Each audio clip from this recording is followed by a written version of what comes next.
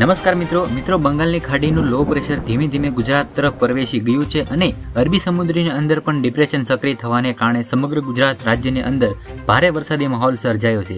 આ માહોલની વચ્ચે મિત્રો, મોટાભાગના તાલુકાની અંદર સાર્વત્રિક રીતે મેઘમહેર જોવા મળી છે.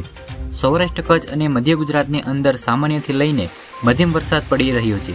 તેમજ મિત્રો, ઉત્તર ગુજરાત અને દક્ષિણ ગુજરાતની અંદર પણ ભારે વરસાદને લઈને મોટી આગાહી કરવામાં આવી છે. ખાસ કરીને મિત્રો, હવામાન વિભાગ દ્વારા ફરી ગાજવીજ સાથે અને વાવાઝોડા સાથે ત્રણ દિવસ ભારે વરસાદની આગાહી કરવામાં આવી છે. અમદાવાદ સહિત સમગ્ર રાજ્યમાં તેની અસર જોવા મળશે. બંગાળની ખાડીમાં સર્જાયેલું well marked low pressure system મધ્યપ્રદેશના પૂર્વ ભાગમાં પહોંચી ગયું છે. જો બીજી તરફ સૌરાષ્ટ્રના ઉત્તર પૂર્વ અરબી સમુદ્ર ઉપર એક નવી લો પ્રેશર સિસ્ટમ સક્રિય થઈ છે.